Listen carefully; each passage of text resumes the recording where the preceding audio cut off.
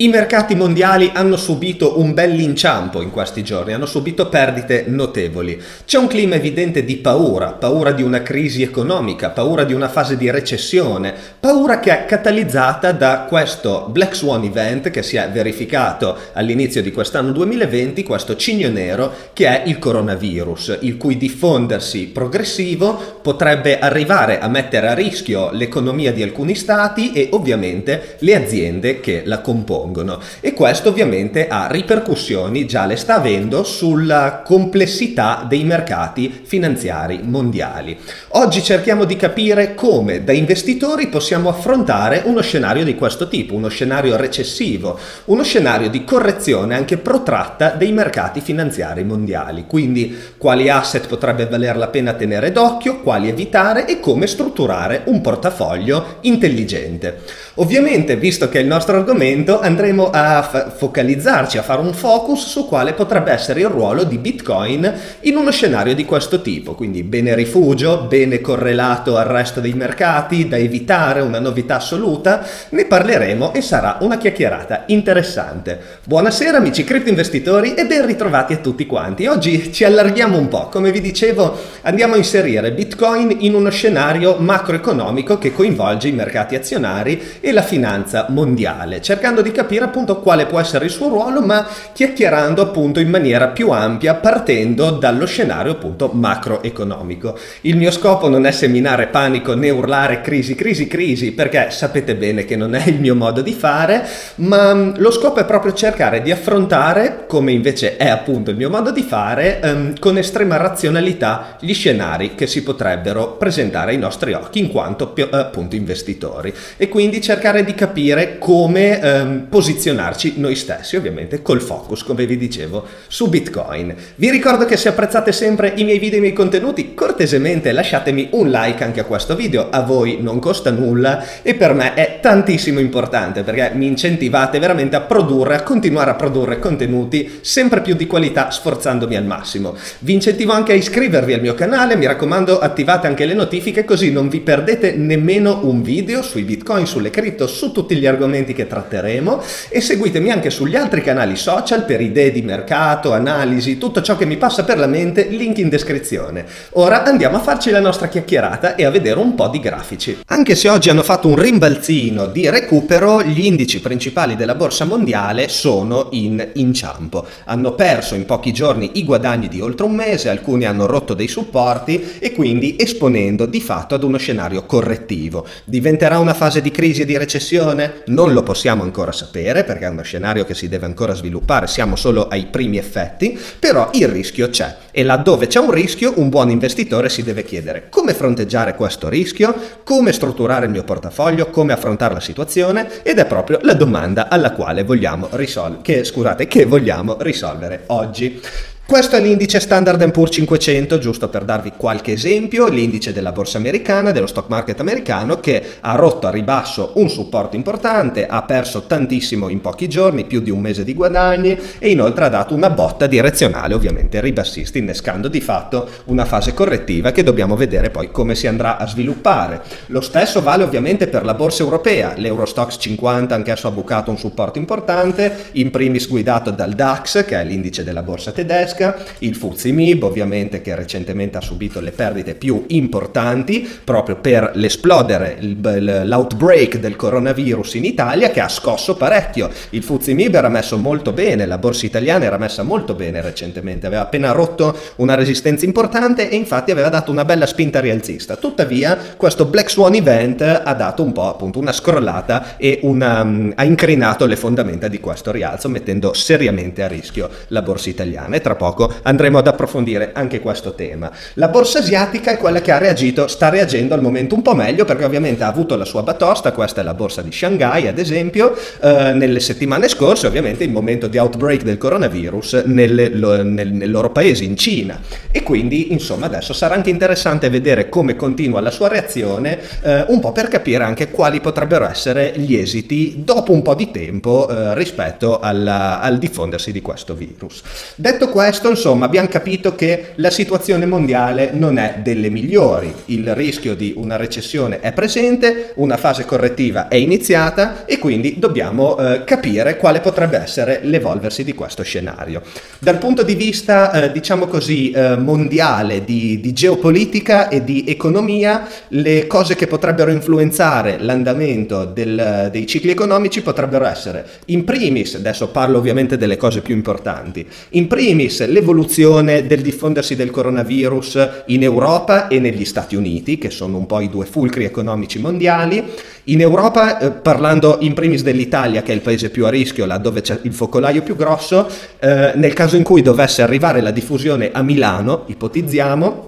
si potrebbe rischiare tantissimo nel mettere in ginocchio molte aziende che non sono solo aziende italiane, chiaramente a Milano. Milano è un po' un centro economico che ha risonanze importanti in tutta Europa, ma non solo, è diventato sempre più importante anche a livello mondiale. Quindi il mettere in ginocchio una città come Milano, riducendo la produttività delle aziende per via di discorsi di quarantena, magari dei dipendenti, che quindi per forza di cose dovrebbe ridurre i suoi eh, cicli produttivi e il fatturato elevato di conseguenza ed inoltre si ridurrebbe anche notevolmente la domanda perché? Perché c'è isolamento, perché eh, le infrastrutture rischiano di non essere all'altezza e quindi non si riesce a sostenere la, la produttività e di conseguenza i profitti delle aziende rischiano di calare notevolmente. Questo poi eh, diventa ancora più risonante nel caso in cui in Europa, ovviamente dall'Italia facile, la diffusione più facile è in Europa, nel caso in cui ci fosse una diffusione a livello europeo, eh, insomma, arrivando a dei centri importanti come potrebbero essere Dublino,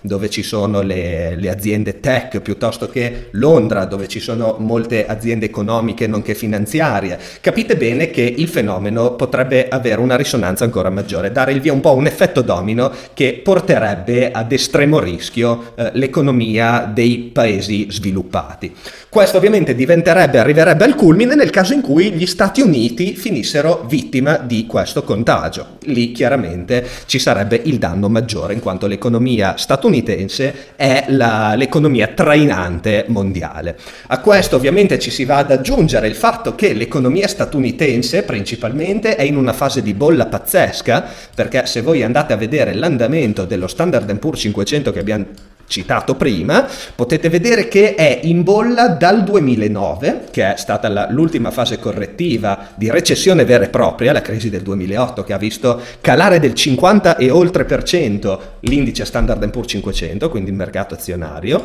è un secondo calo di quell'entità perché ovviamente negli anni 2000, la crisi dei primi anni 2000, c'è stato un calo di simile entità, dopodiché è partita una bolla che per oltre dieci anni ha visto un bull market pazzesco nel dell'azionario, il bull market più potente, più marcato della storia, 350%. Quindi questo da sé apre le porte a una fase recessiva, cioè c'è bisogno di una fase recessiva. Il mercato azionario è ciclico, non va avanti a salire per sempre, ogni tanto si sgonfia, così come tutti i mercati mondiali, anche Bitcoin, ovviamente con tempistiche, ritmi e entità e volatilità diverse, però le leggi del mercato sono uguali per tutti e quindi questo già tende estremamente l'elastico. Che cosa ci vuole? Ci vuole proprio un evento scatenante, un Black Swan event piuttosto che un qualcosa che dia il via, butti giù la prima tesserina del domino e inizi a uh, far partire appunto questa fase recessiva. L'altra variabile che secondo me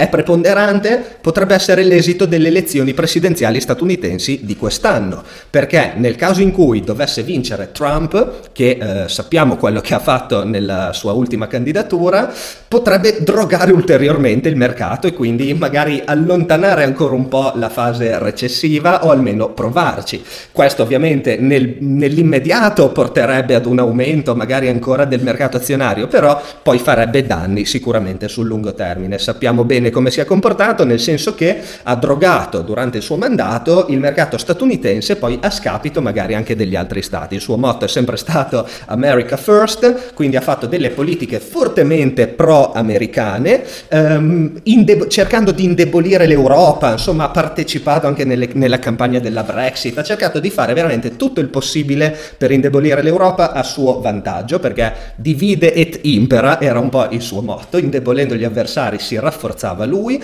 non aveva più bisogno della Cina per le, forniture energetiche, per altre cose, boh, allora indeboliamo anche la Cina, guerra dei dazi, cose di questo tipo, insomma, una politica di questo tipo qua, eh, molto incentrata sull'economia americana per drogarla il più possibile nella maniera meno sana poi sul lungo termine. Questo inoltre unito al fatto che voleva mettere il naso addirittura nelle decisioni di Powell della Federal Reserve, voleva inondare di liquidità i mercati, fare di tutto insomma per eh, potenziare quella che è l'economia americana nella maniera meno sana possibile. Fortunatamente la Federal Reserve è un ente indipendente dalla, da, da, dalla presidenza e quindi prende decisioni ed è giusto che sia così senza il, la, la, sua parola. Però ha voluto dire la sua anche lì, insomma, per far capire che personaggio è per chi non l'avesse ancora capito. In ogni caso abbiamo capito un po' il quadro generale, insomma, una bolla iperestesa, mercato drogato il più possibile e il rischio che questo Black Swan event faccia partire un collasso generale, una fase recessiva. E questo ci spinge alla nostra domanda principale. Come lo affrontiamo? Come proteggersi? Dove rifugiarsi nel caso in cui il mercato azionario, che è ciò che ha trainato di più i guadagni nell'ultimo decennio, dovesse invertire la rotta e andare in recessione? Dove rifugiarsi nel caso in cui il mercato obbligazionario, i bond, danno rendimenti negativi, che è il caso attuale ovviamente? Dove rifugiarsi quando addirittura sul cash, quindi sulla liquidità in conto corrente, vengono applicati interessi negativi? Bella domanda e cerchiamo di affrontarla razionalmente andando a fare una disamina di diverse asset class. La prima asset class che viene in mente come stabilizzatrice di portafoglio, nonché decorrelata eh, o addirittura a volte inversamente correlata al mercato azionario, sono le commodity, le materie prime. Il mercato delle commodity è quello forse più interessante, in particolare ehm, visto anche il suo trend, perché chiaramente non c'è solo da guardare come un mercato è correlato con un altro, come stocks e commodity,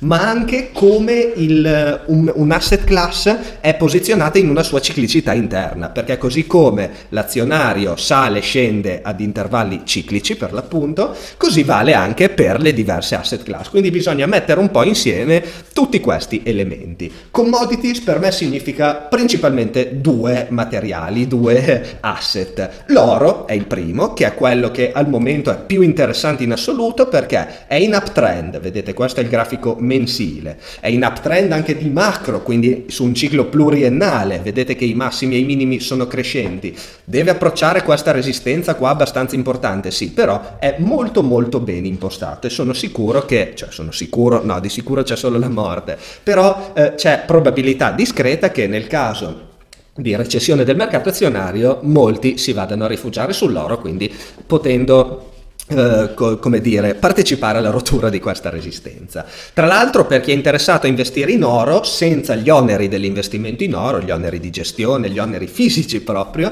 esiste un token, questo dedicato soprattutto ai nostri cripto investitori, che sono sicuro molti di voi lo sono, perché se mi seguite lo siete, è Pax Gold, che è un token legato proprio al valore dell'oro che dà il diritto alla riscossione fisica anche eventualmente dell'oro, quindi non è un qualcosa di creato virtualmente, ma è un token su blockchain, quindi che dà diritto, da, eh, cioè è legato al valore dell'oro effettivamente. Eh, il prezzo lo prende tramite un oracolo che prende appunto il prezzo dagli exchange che trattano oro e inoltre appunto è legato all'oro fisico, quindi ripeto non è un qualcosa di virtuale, è un'ottima alternativa, anzi per me sinceramente è una, un qualcosa di prioritario rispetto all'investimento in oro. Se dovessi investire in oro punterei su quello. Per chi fosse interessato ad approfondire consiglio di rapidamente cercare su Google e ci si schiarisce in fretta le idee. Magari in futuro ci dedicherò anche un video, perché no?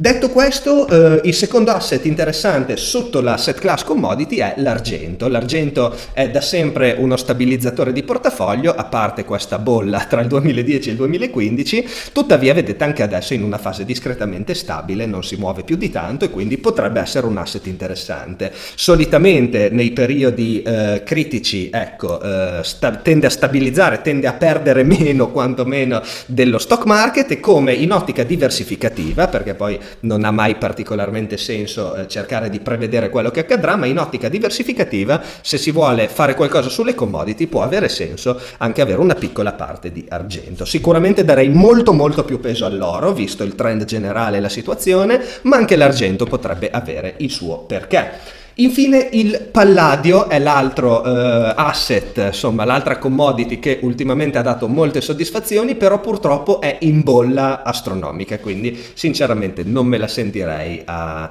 diversificare un portafoglio che non sto parlando di speculazione ma proprio di asset allocation mettendoci dentro anche il palladio. Ecco, se voi avete qualche altra commodity che seguite, che suggerite, insomma scrivetemelo nei commenti, ci confrontiamo, sarà interessante. Per me le principali commodity rimangono appunto oro e argento. Dopodiché abbiamo il, um, il bond market, quindi le obbligazioni. Le obbligazioni le liquido abbastanza in fretta perché a parte che è un mercato che a me non affascina particolarmente, lo equiparo solitamente al cash, a un po' liquidità diciamo, poi con le agevolazioni fiscali e tutto quanto, insomma, quando hanno dei buoni rendimenti ha senso, quando hanno dei cattivi rendimenti non ha senso e questo ovviamente è il caso 2, a meno eh, che non si voglia andare su scadenze lontanissime oppure su um, i bond di paesi o aziende a rischio default, che secondo me non è proprio cosa, insomma andare a fare speculazione sui bond non è che sia proprio ecco il massimo. E poi abbiamo detto il cash. Allora, il cash secondo me paradossalmente è uno dei mali minori in fase recessiva, perché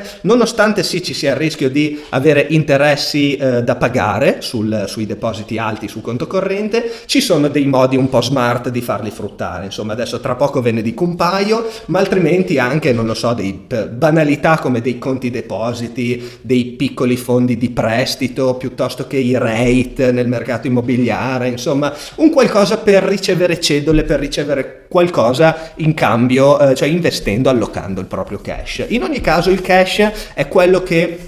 fa eh, forse in percentuale la maggioranza del mio portafoglio in una fase recessiva del mercato azionario, proprio per sua, eh, il suo potere stabilizzante e la possibilità di utilizzarlo nel caso in cui si presentino, si dovessero presentare occasioni di diverso tipo. Abbiamo citato i rate, quindi il mercato immobiliare è sicuramente interessante in questa fase, poi insomma che c'è una maggior facilità di erogazione di prestiti, tassi di interesse più bassi, eccetera, eccetera, sicuramente è in fase espansiva il mercato immobiliare, in particolare in alcuni alcune aree, quindi vabbè, i rate sono un po' un'esclusiva americana, quindi non è, potrebbe non essere facile averne accesso. L'immobiliare è, richiede, cioè l'acquisto proprio di, di, dire, di immobili richiede un capitale notevole, quindi anche lì potrebbe esserci difficoltà, però ecco, se si ha l'opportunità di investire in qualche modo, in maniera magari anche indiretta, tramite, insomma, anche lì ci sono piattaforme smart che stanno nascendo adesso di crowdfunding immobiliare e simili, sicuramente può essere un'opportunità interessante. Tenete conto per gli investimenti smart, che infatti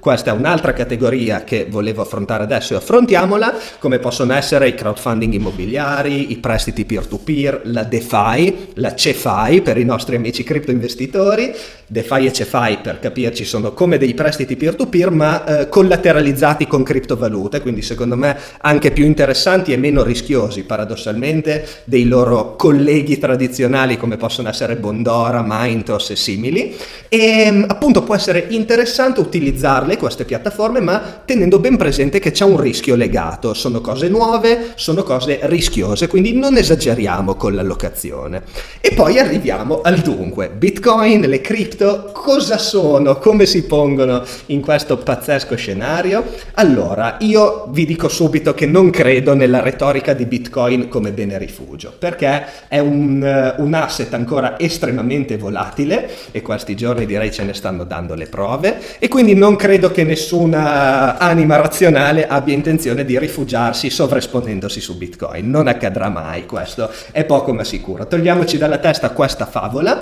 Tuttavia io credo che Bitcoin in ottica diversificativa paradossalmente potrebbe essere interessante. Per quale ragione? La prima ragione è il suo trend è un trend che dal punto di vista macro è crescente al momento, perlomeno adesso è in cerca, si spera, di un higher low, vedremo come si imposterà in questo periodo e nel caso in cui lo trovi, insomma, potrebbe valer la pena andare a esporsi un pelino di più, magari, se vediamo che il bull market continua. Io credo che sia in un periodo storico molto interessante perché l'halving, che sapete bene come la penso a riguardo, se avete visto i miei video, non, non sono bullish a prescindere sull'halving, ma comunque penso che gli darà molta esposizione mediatica. Questa esposizione mediatica invece è bullish di per sé perché comunque fa conoscere Bitcoin. Ha attraversato una fase per cui ci sono disponibili molti strumenti anche per gli investitori istituzionali ed inoltre è un asset class nuova, non abbiamo mai visto il suo comportamento in presenza di una crisi economica. Quindi non possiamo prevedere e neanche avere dei dati per provare a capire che cosa accadrà. Tuttavia è un asset discretamente decorrelato, cioè è ben decorrelato dai mercati tradizionali e quindi secondo me ha senso andarlo a seguire e investire una parte del proprio portafoglio. Chiaramente deve essere la punta della piramide perché è l'asset più rischioso attualmente in assoluto. Le cripto, al di là di Bitcoin, ovviamente è la punta della punta della piramide, però il mio consiglio, se voi non siete cripto investitori e siete arrivati qua interessati magari dall'argomento del video, è di approfondirlo Bitcoin, di cercare di capirlo e di capirne l'economia e i cicli, diciamo così, come si muove nel, negli scenari economici, i suoi scenari economici, perché è veramente affascinante, al di là della speculazione e al di là di tutto. Ovviamente la speculazione in sé ha un piccolo ruolo, anche nel, nel portafoglio, perché adesso non so se uno semplicemente alloca i fondi e poi se ne dimentica, ma penso che sia abbastanza rara come cosa. Per questo motivo un altro Un'altra possibilità sono, non l'ho citata prima, scusatemi per questo, ma sono gli ETF short sull'azionario, per i quali inizia ad aver senso avere una piccola esposizione, perché quelli sono sì speculativi, nel momento appunto di inizio recessione, di primi segnali di recessione. questi contribuiscono appunto a bilanciare le perdite magari delle stocks più eh, stabili, tipo Coca-Cola e Pepsi, quelle che abbiamo citato prima, si compensano molto molto bene, poi andando ad aggiungere i dividendi dell'una, e insomma è diventa un paniere interessante. Ovviamente sullo short di solito le, ehm, l'esposizione io la mantengo tendenzialmente più bassa, ma per il comportamento generale del mercato azionario questo. Ritornando invece alle cripto, Bitcoin è un po' un esperimento, ecco, sicuramente l'essere completamente decorrelato dal mercato azionario tradizionale è ciò che lo rende molto appetibile e che vale, eh, insomma, fa valere la pena quantomeno seguirlo, tenerlo sotto il radar. E poi il volerci entrare oppure no, ovviamente un, dipende tutto dalla propria propensione al rischio. Se siamo investitori giovani con propensione al rischio, insomma, smart, in grado comunque di seguire un grafico con un'operatività anche più veloce, il mio consiglio è comunque di allocare una piccola parte del proprio portafoglio a Bitcoin, perché questo potrebbe eh, insomma andare a compensare nel caso in cui ci fosse un bel ciclo rialzista di Bitcoin, eh, che in, nel caso in cui l'uptrend che si sta formando venisse confermato, potrebbe eh, appunto andare a, a compensare eventuali perdite del mercato azionario o comunque andare a bilanciare in generale il proprio portafoglio e aggiungere un'altra fetta alla torta della diversificazione. Il fatto che appunto sia un asset asset che non ha precedenti eh, lo rende ancora più appetibile secondo me. Cioè un, un investitore moderno non può andare a escludere Bitcoin, secondo me, dalla propria torta di investimenti del portafoglio. Detto in breve, ha delle caratteristiche uniche, è volatile, è rischioso e tutto quanto, ma è estremamente affascinante e inoltre ha un potenziale che secondo me nessun altro asset al momento ha dal, dal punto di vista proprio dei fondamentali. E poi ovviamente c'è anche Ethereum se uno vuole andare ad aggiungere un pizzico di peperoncino, ecco, a questa grossa eh, frittata. Ok? Quindi questo è un po' quanto. La torta penso che l'abbiate capita gli asset sui quali sto tenendo il focus sono questi e adesso c'è un po' da vedere come si svilupperà questo scenario, quindi continuerà la fase regressiva, Vedremo, vedremo come si comporteranno le commodity, vedremo come si comporterà Bitcoin e in tal caso decideremo di esporci di più o di meno sull'uno o sull'altro. Voi mi raccomando, continuate a seguirmi che così ci aggiorneremo in futuro. E voi come avete intenzione di comportarvi nel caso di recessione? Pensate che sia probabile una recessione oppure che sia ancora presto? Ditemi la vostra qua sotto nei commenti e ci confrontiamo come sempre. Vi auguro una buona serata e alla prossima.